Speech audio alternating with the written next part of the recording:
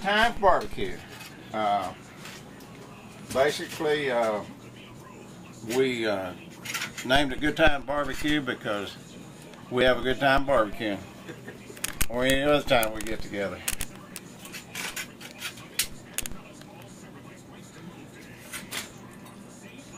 We've been doing this, uh, I've been doing it for about nine years, ten. Terry came out here from Texas and uh, Whereabouts in Texas? Uh, Weatherford. he knows brisket, so uh, Being from Texas? he didn't know pork existed till he got out here.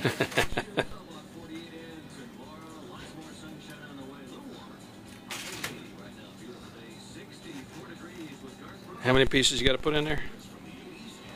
Enough to feed six judges. But you got I'm four.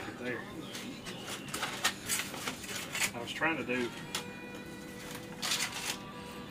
doubles, but May have to cut 'em.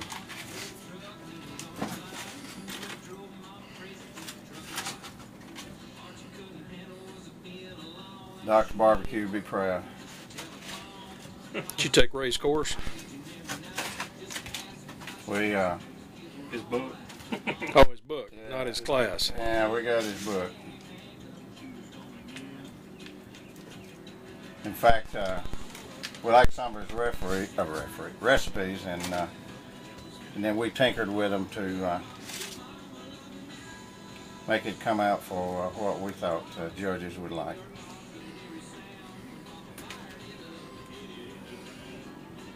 That's looking better.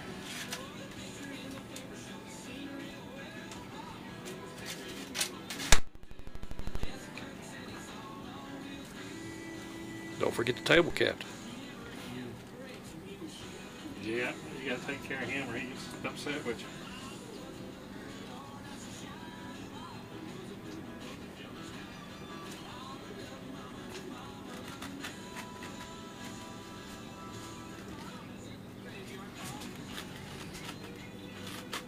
So cooking six contests this year. Did y'all make the jack draw? No, we didn't. Uh, basically, uh, we've got some third places. Uh, and we've had one fourth place in uh, in show, uh, not shoulders, but uh, pork, pork. But we're, uh, I guess you'd say we're still in the learning stages in in, in, uh, in competition barbecue. But we've about figured out that uh, the judges like sweet meat. Kind of depends on the temperature and the time of day. So, Seriously.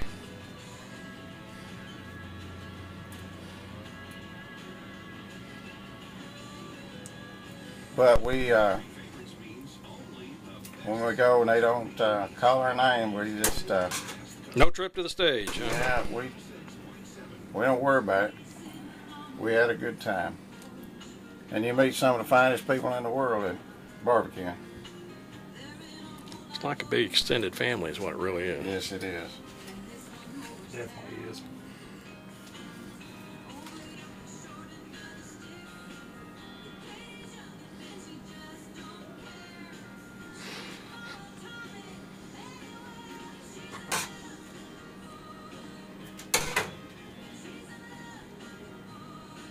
I think I can get another piece in there. Hey, if the judge don't like that, huh?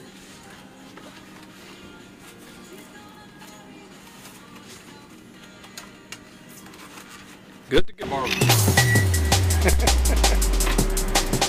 go. You need good barbecue today? Oh yeah, oh yeah. I've been getting it for a couple of days.